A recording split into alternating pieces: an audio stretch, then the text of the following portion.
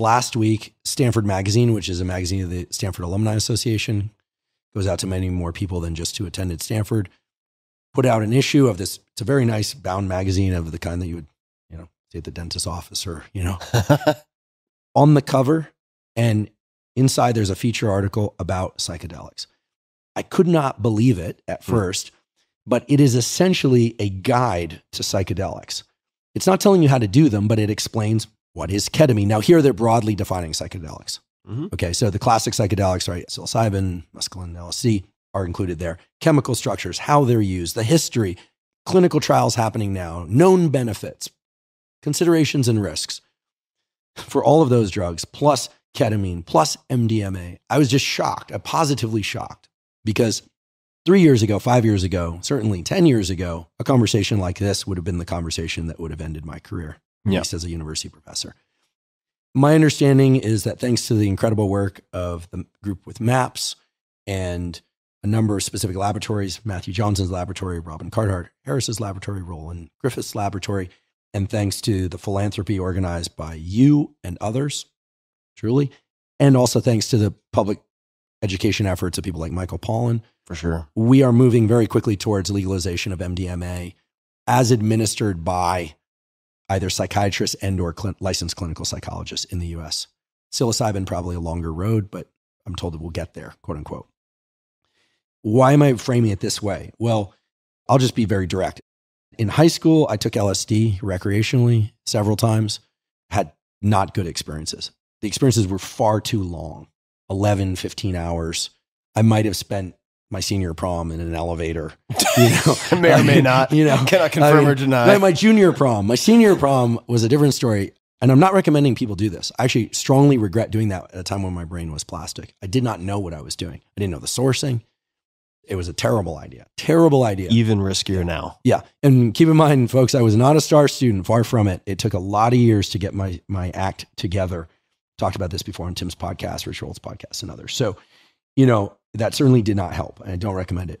I tried psilocybin recreationally a few times. Didn't get much out of it.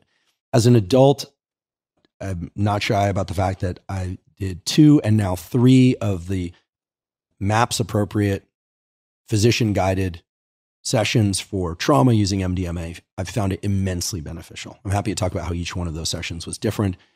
Again, this is with a physician as part of a, a study. So, what I know now is completely different than what I knew two years ago, which is not just based on the legality, but in discussions with Nolan Williams, this incredibly impressive colleague of mine and friend of yours and colleague of yours, really, that the safety profiles on things like MDMA are actually quite high. I was taught that MDMA was neurotoxic. Why was I taught that? Well, there's a paper published in Science Magazine looking at toxicity of MDMA, observing neurotoxic effects. Turns out, what were they looking at? Methamphetamine. Mm, oops, retraction. Yeah, retraction, except that never made the major headlines. Okay, so then you look at the data on psilocybin. Here, I'm just going to hit the high points because it's not my work. It's the work of Matthew Johnson and of, of Robin Carhart Harris at UCSF. Intractable depression, people who are suicidally depressed. Nothing else works. Talk therapy doesn't work. Antidepressants don't work. TMS doesn't work. Do two high dose, so it's 25 milligrams of psilocybin that has to be translated for grams of mushrooms, but It's roughly like the 25 to 30 milligram of psilocybin, synthetic psilocybin would be equivalent to, let's just say, a Terence McKenna heroic dose of five grams. I mean, you're, Okay. you're getting enough for escape Mhm. velocity. Mm-hmm. Okay. Yeah. In upwards of 60%, maybe 70% of these patients that take that are getting substantial and ongoing relief. That's an amazing result. So much so that the big pharma has moved in and is trying to create non psychedelic psychedelics to extract the benefits of these drugs that don't induce hallucinations instead of raising interesting questions about whether or not the experience under psychedelics is really the trigger for the antidepressant effect Yeah. whether or not it's the insight or not. That's a whole ball of wax. And, and really, I'm not qualified to parse that. That's really the domain of Robin and, and the psychonauts. It's an interesting set of issues. So, my stance nowadays is there is a compound out there that seems to have very high safety profiles, very, very high, certainly for psilocybin, that under the appropriate guidance and supervision during and after in this so called integration phase, one or two dosages of this stuff yes, takes people through a phase of anxiety, then a phase of deep introspection. This is also, I learned essential. There are two components that I learned are essential that were surprising to me. One, you have to be in the eye mask. Observing things in your external environment the whole time seems to bypass some of the introspective slash antidepressant effects later. That's interesting to me. It's not just about what you see, what you hear out there. It's really about going inward. This kind of trust, let go, Yeah, it's also important to standardize for trials, right? You can't have people looking at all sorts of different Right. stuff. Another Somebody's watching right. Finding Nemo and another one's watching Right. Jaws or Right. exactly. and then the other thing was I learned from Robin recently is that music seems to be a key component.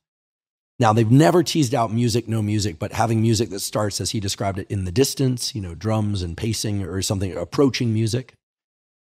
Then instrumentals, which raise people's emotional state while they're in the eye mask, and then some transition period out seems to be a critical component of all this and guiding some of the kind of funneling towards deep emotional introspection.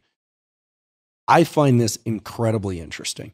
And again, I would have not felt safe talking about this. Keep in mind, a year ago, two years ago, keep in mind that in the late 60s, early 70s, there were professors at Harvard and Stanford mainly that were fired or at least asked to leave for having discussions like this. yeah. And now Stanford Magazine itself is printing this. And this is also, I'll use this as an opportunity to say this because it's really about the, the listeners. You know, our podcast, Huberman Lab Podcast, is free on all the channels, but we do have a premium channel. I'm not trying to solicit it here, but the premium channel is designed to, we do AMAs and things of that sort. Transcripts are available to those folks to raise revenue for research dollars for exciting work. And we have a donor that's very been very generous to do a match for that money. And we're giving money only to studies working on humans, not animal studies. And two of the major areas that we're supporting are the sorts of work that Nolan's lab is doing, and Nolan in particular, to combine transcranial magnetic stimulation with psychedelics and these. Yeah, sorts that's great. things. I didn't know that about about the premium option. Yeah, that's really what the premium channel is designed for. yeah, that's great. Again, I'm going to say this again. People are going to think that I'm just here, you know, kissing up to, to Tim, but I'm, I'm doing that over text all the time anyway, because this is yet an, another example where you got into science philanthropy early. You reached out to your connects. You were very vocal about what you felt was powerful and had worked for you and what you'd been observing. And I am absolutely clear. I've said this on Twitter. I'll say it again. When we look back in five years, 10 years, 100 years, there's going to be a small subset of individuals for whom the transition of psychedelics from these like niche communities, hippie communities, carpet flyers, everything from devil's weed, you know, craziness to true, truly effective compounds for treating psychiatric illness. You're going to be on that list. Roland's going to be on that list. Matthew's going to be on that list. Pollan's going to be on that list. Yeah, Robin's going to be on that Roland list for sure. Also, you know and nolan i think is going to be on that list. There's going to be a small subset of people that we're going to go listen research takes money it takes focus it takes a bravery and it also takes the willingness to like take something that has been looked at as just like drugs you know and turn it into something that's therapeutically meaningful. So yeah we're just all i'm trying to do is you know raise some dollars through the premium channel. That's what we've been doing to pump into research studies.